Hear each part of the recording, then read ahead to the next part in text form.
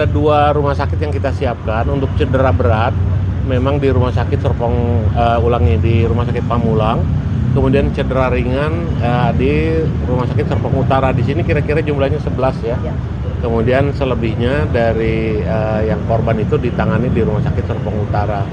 Di sini tentunya hasil diagnosa dari rumah sakit Dr. Susilo Tegal nanti akan ditindaklanjuti dengan tindakan-tindakan medis yang memang sudah dipersiapkan oleh eh, tim dari rumah sakit Pamulang ini untuk operasi dan sebagainya itu nanti akan selalu disiapkan seperti demikian.